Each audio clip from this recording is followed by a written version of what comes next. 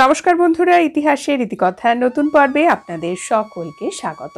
বন্ধুরা, আজকের পর্বে আমরা জানব চৈত্র মাসে এমন কিছু নিয়ম যা আপনি পালন করলে জীবনের বহু সমস্যা এবং বাধা কাটিয়ে উঠতে পারবেন। মা লক্ষ্মীর আশীর্বাদ পাবেন, ভোলে বাবার আশীর্বাদ পাবেন এবং মা দুর্গা আপনার সহায় হবে। চৈত্র মাস হিন্দু ধর্মে অত্যন্ত মাহাত্মপূর্ণ এই মাস হিন্দু ক্যালেন্ডার অনুসারে নববর্ষের সূচনা করে। আমাদের বাংলা ক্যালেন্ডার অনুসারে বৈশাখ মাসে পয়লা বৈশাখে নববর্ষের সূচনা হয়। কিন্তু হিন্দু ধর্মের ক্যালেন্ডার অনুসারে চৈত্র মাসেই হয় নববর্ষ। ঋতু পরিবর্তনের এক বিশেষ সময় চৈত্র। শীতের শেষে এই সময় ধীরে ধীরে গ্রীষ্মকাল শুরু হয়।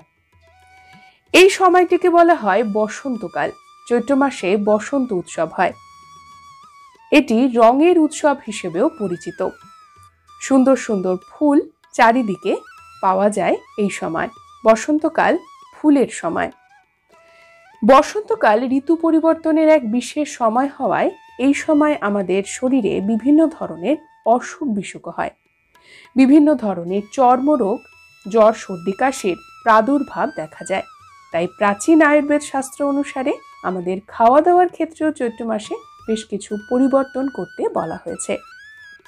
আজকের পর্বে জানব চৈত্র মাসে জল দিয়ে করতে পারেন এমন কিছু নিয়ম যা আপনার জীবনের বহু সমস্যার সমাধান করতে পারবে। এই জল খুব সহজেই পাওয়া যায় এবং চৈত্র মাসের ব্যবহার জীবনে কীভাবে ভাগ্য পরিবর্তন করবে আপনি নিজেও অবাক হবেন। আমাদের জন্মছকে নবগ্রহ রয়েছে। এই নবগ্রহের কোনো একটি গ্রহের দোষ আমাদের জীবনে বাধার সম্মুখীন আমাদের করে।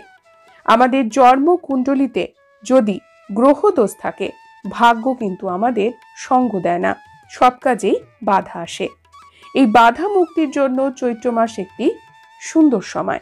চৈত্র মাসের প্রত্যেক দিন সকালে সূর্যদেবকে প্রণাম করে জল নিবেদন অবশ্যই করবেন স্নানের পরে।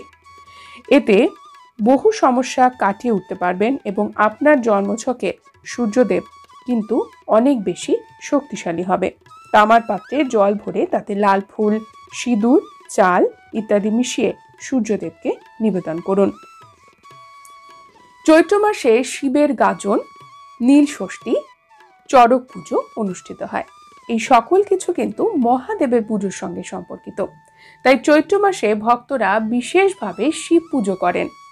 চৈত্র মাসে ভোলে বাবার উপাসনা করুন এবং গঙ্গা জল পারলে অভিষেকে ব্যবহার করুন। যদি না পান, পরিষ্কার জল। মহাদেবের পছন্দের ফুল অবশ্যই মহাদেবকে অর্পণ করবেন। শিবের উপাসনা, নীল পুজো মহাদেবকে অত্যন্ত প্রসন্ন করে। চৈত্র মাস জুড়ে মহাদেবের উপাসনা করলে মনস্কামনা অবশ্যই পূর্ণ হয়। চৈত্র মাসে সকাল সন্ধ্যায়। আপনার বাড়ির তুলসী গাছের পুজো অবশ্যই করবেন, তুলসী স্থানে জল দেবেন, এতে ভগবান শ্রীহরি এবং মাতা তুলসীও প্রসন্ন হন। জীবনের বহু সমস্যা কাটিয়ে উঠতে পারবেন। চৈত্র মাসে হয়ে থাকে নবরাত্রি, অর্থাৎ বাসন্তী দুর্গাপুজো। যখন শরৎকালে অকাল বোধন, যেটি শারদীয়া দুর্গাপুজো নামে পরিচিত প্রচলিত হয়নি। তখন থেকেই কিন্তু, তার আগে থেকেই এই বাসন্তী দুর্গাপুজো হয়ে থাকে।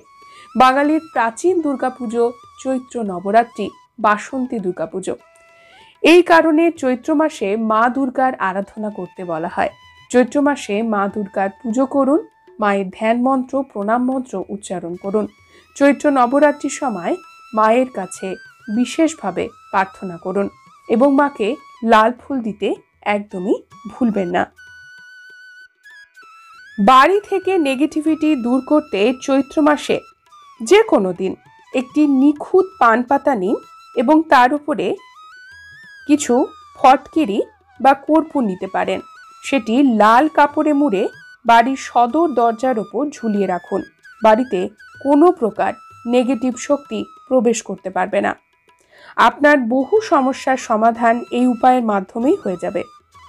চৈত্র মাসে নিম গাছের বিশেষভাবে পুজো করুন। চৈত্র মাসে বাঙালির ঘরে ঘরে নিম বেগুন খাওয়ার প্রচলন রয়েছে। এতে বহু ধরনের চর্মরোগ, এছাড়াও বিভিন্ন ধরনের এই সময় ঋতুজনিত যে অসুখ হয়, সেখান থেকে আমরা বাঁচতে পারি। এটি আমাদের রোগ প্রতিরোধক ক্ষমতা তৈরি করে। বলা হয় চৈত্র মাসে মা শীতলা এবং মা দুর্গা নিম গাছে বাস করেন। তাই এই সময় নিম গাছের বিশেষ যত্ন নিন। পারলে বাড়িতে একটি নিম গাছ লাগাতে পারেন, যত্ন নিতে পারেন এবং নিম গাছের তলাতে মাটির প্রদীপ জ্বালিয়ে আসতে পারেন। এটি কিন্তু খুবই শুভ বলে মনে করা হয়। বন্ধুরা, আজকের পর্ব এই পর্যন্তই। পরবর্তী পর্বে নতুন একটি বিষয় নিয়ে আপনাদের সঙ্গে কথা হবে। ততক্ষণ সকলে সুস্থ থাকুন, ভালো থাকুন। আর পুরো ভিডিওটি দেখার জন্য আপনাদের অসংখ্য অসংখ্য ধন্যবাদ।